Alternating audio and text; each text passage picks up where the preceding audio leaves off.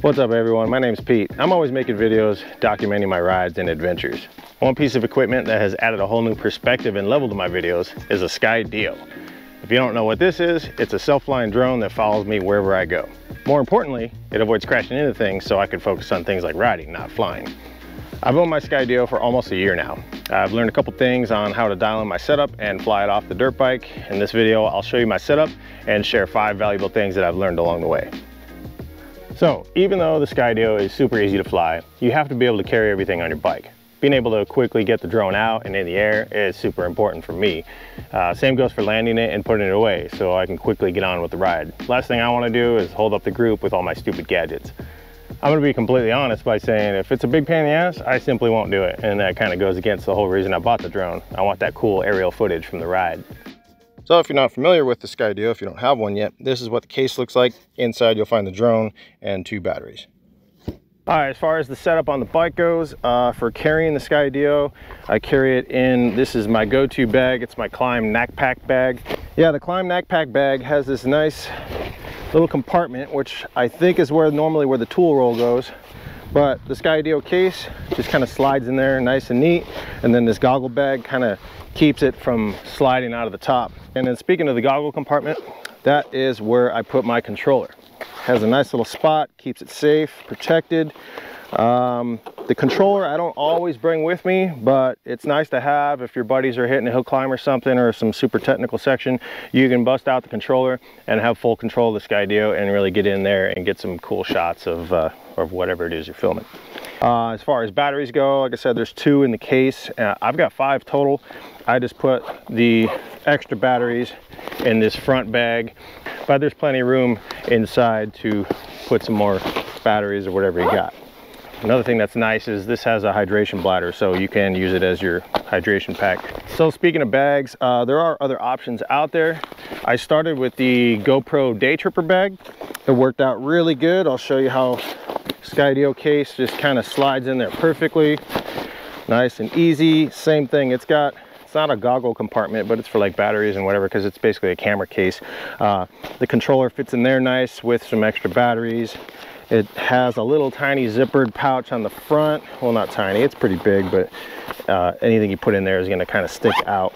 And what else? There is, there's like a spot for a laptop on the back, as well as a hydration pack. So that's pretty cool. It's got a hole that you can feed your tube through. And then another thing that's kind of nice, it's got a little GoPro clip there on the shoulder strap.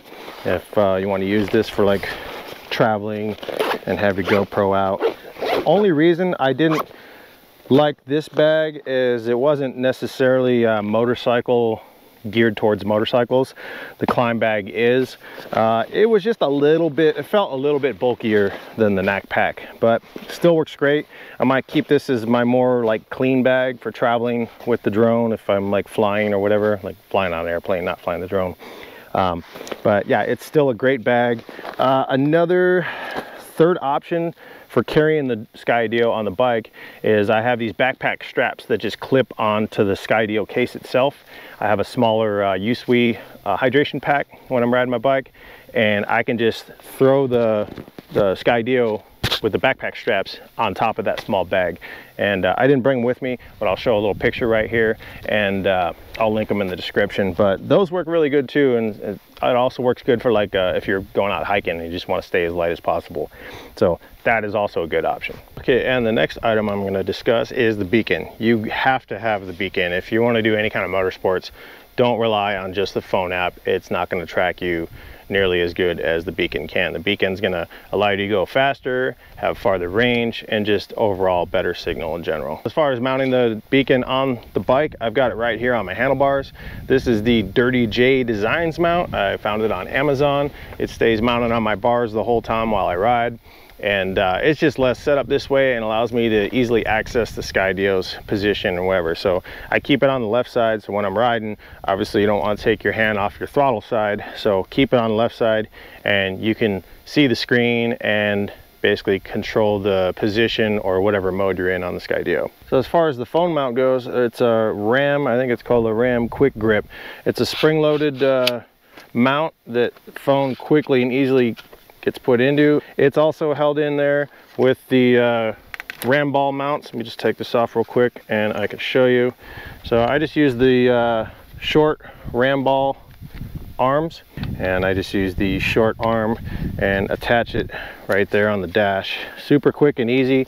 I can transfer this from one bike to the next. I can if I'm riding my 500 I'm on my 300 today but if I'm riding my 500 I can quickly take all this off and just put it on the 500 because I got two of those little one inch ram balls mounted right on my uh, handlebar clamps if I'm riding something else, like for example, my little ATC or my mountain bike or whatever, uh, this little cheapy phone mount, I guess it's not too cheap, but it was like 15 or 20 bucks, I think, maybe even less than that. Uh, this works really good. It's spring loaded and then you got these rubber bands on the back that grip the corners of the phone real quick. And then it's just got like a little clamp and I could just transfer this from bike to bike super easily. That way I don't have to put a ram ball on every single bike that I have. I had it on my uh, definitely the ATC ride. If you haven't seen that video, it's it's a hoot. Uh, check that out on my channel. But we did some stuff. We were bouncing around on those things and this thing never came loose and phone never fell off. So recommend this little guy. I'll put a link in the description for that. Hopefully that answers your questions if you had any on uh, how I use my Skydio when ride my dirt bike. Uh, it's pretty quick and easy. Uh, like I said, I don't like holding up the group if I'm riding with a group of buddies and I want to get some footage. Uh, that Klim Nac Pak works great to get the drone in and out of real quick. I don't even have to get off the bike. It actually, uh, I can pull the bag off, set it right here in my lap and get the drone out and then launch it with the beacon right here from the handlebars and then pair the phone really quickly to it. It takes a couple minutes, but usually you're waiting for like a few guys to come up in the back of the pack anyway, so it's worked out really well. So now that I've showed you my setup, I'm gonna go over five tips for flying the Skydio off of a bike. Tip number one, use the beacon with your phone together. I can fly the Skydio simply by pairing the beacon to the drone, but if I pair the beacon to the drone and then pair the phone app to the beacon, it adds additional GPS signal strength as well as more functions to control the drone. Probably the most important part of that is uh, being able to see the live view of what the drone sees right here on my handlebars. If the shot just doesn't look right, if the lighting's off or the angle sucks, I can just quickly change it right here with the beacon. Tip number two, alternate drone position. Alternating the drone distance and positions helps me create variety in my videos. Uh, it's a proven fact that it, you retain an audience when the scene is constantly changing. Disable the height floor to get a better view of the horizon. Uh, just be super careful when doing this. The Skydio can't avoid moving objects. One skill that really helps switch up the angle and grab multiple backgrounds is the orbit skill. That one's pretty cool while you're riding. It kind of just spins around you while you're while you're riding down the trail. Always gets a different background. Tip number three, don't crash. Seems pretty obvious, but trust the blue light and pay attention to riding. A recent crash cost me more than the price of a full Skydio Cinema kit. I wasn't 100% focused on my riding, I paid the price for it. Don't look up or back at the drone while riding. Not only does this ruin your shot and make you look like an idiot, it also is really unsafe. Focus on riding, trust the blue light on the beacon. If it's blue, it's locked on and following you. If it loses connection with the beacon, you'll hear it beep at you and the light will turn red.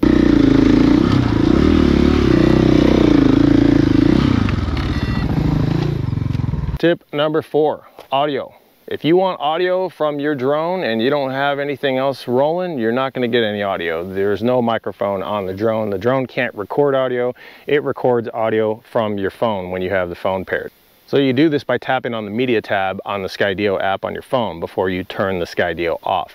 This allows your phone uh, to sync with the Skydio and save an audio file to the SD card in the drone.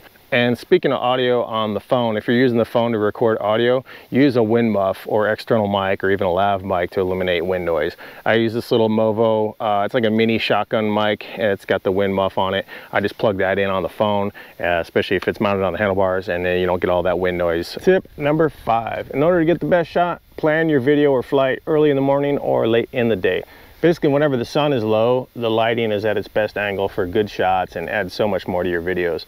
If you're shooting in the middle of the day and the sun is directly overhead and there's no clouds, you're gonna probably wanna get one of those neutral density filters and uh, that way everything's not blown out. And also use the HDR function in the Skydio settings on the app. It really enhances uh, contrast and shadows in your videos. All right, that's gonna do it for my setup and tips when riding and flying with my Skydio 2. Hopefully it's helped answer some of your questions, uh, but if you've got any more, hit me up. I'll gladly get back to you. Leave them in the comments below. Be sure you're subscribed so you don't miss any future videos, and I'll catch you guys on the next one.